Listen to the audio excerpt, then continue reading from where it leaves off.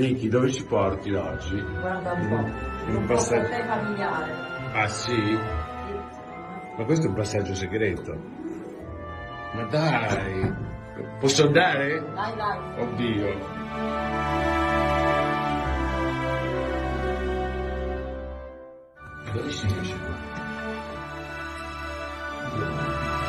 Non è possibile! Un teatro qua! Teatro all'italiana, meraviglioso, sotto una villa, fantastico!